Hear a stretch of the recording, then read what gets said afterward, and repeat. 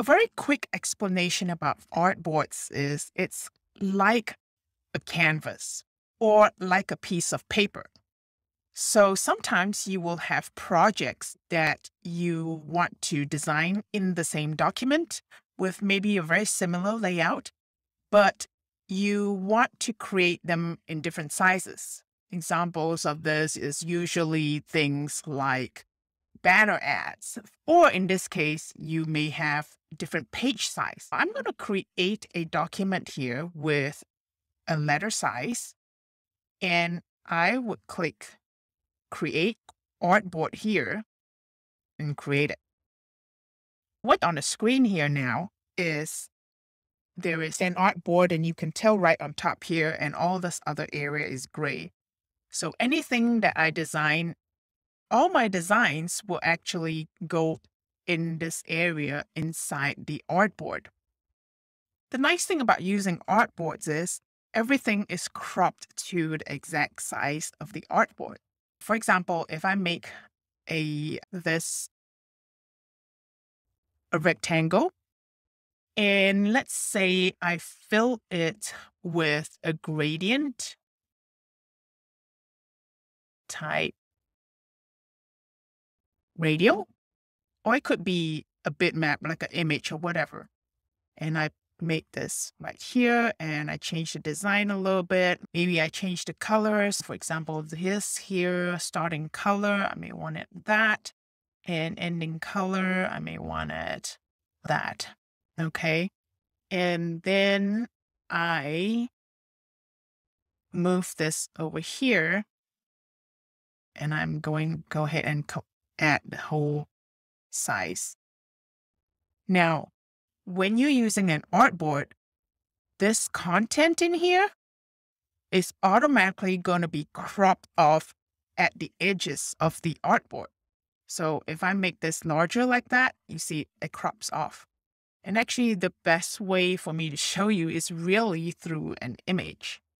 Let me see if I can place an image here. Okay, great. Let me just put a banner here from my, for one of my products. And you can see very clearly it's cropped off. When you export this image, it's going to crop off at exactly the size of the artboard.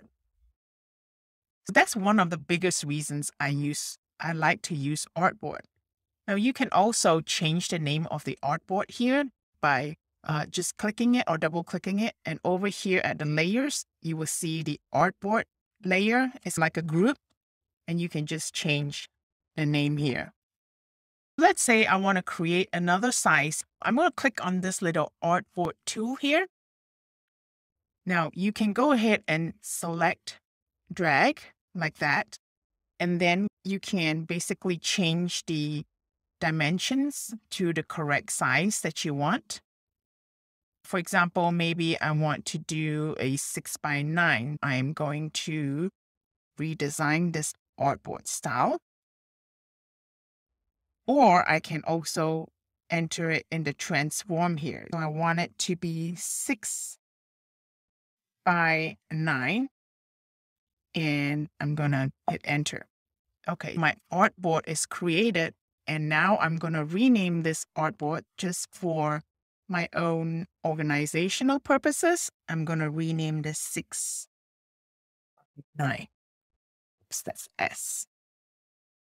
Now I can go ahead and do my new design here to make things easier for me. I can just simply also copy and paste it into here and as you can see, it, even though the image is larger, but it cropped everything off to the right size. This sometimes makes it very easy to, like if you want to copy and paste a design, especially if they are mm-hmm. both rectangle, you can create different pages of the same design and crop it into different sizes really quickly. And that's exactly how you use artboards in Affinity Designer. Thank you for watching. I'll catch you next time.